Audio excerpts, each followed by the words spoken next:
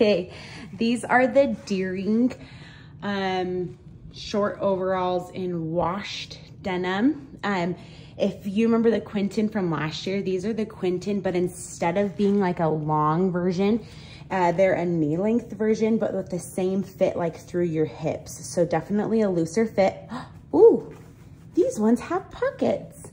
The Quintons did not have pockets and those pockets actually cover, like make the, the yeah, look, make it so you can't see through those holes because of the pockets. Ha! Wow. I am just shook. All right, so, um, so I'm wearing a size large. Um, I would not have sized down. I probably could pull these up a little bit more though, just like adjust the straps a little bit.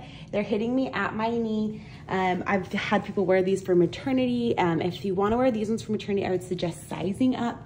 This is the same wash as the original Quentin and just a cute, I mean, I can't tell you how many people stop me when I'm wearing those overalls. Like it's constant. So definitely um, a cute little updated version of them. Um, perfect for the summer.